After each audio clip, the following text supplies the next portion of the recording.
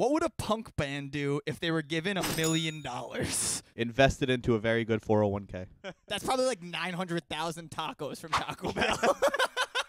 There's some punk bands where that will be gone in a few weeks of like just binders. There's a few punk bands that would just spend it on a lot of equipment. And you could probably get like at least 250,000 slices of pizza from like a good Yeah. pizzeria. yeah, definitely. if you give like the punkest of punk band a million dollars, they're now a rich band.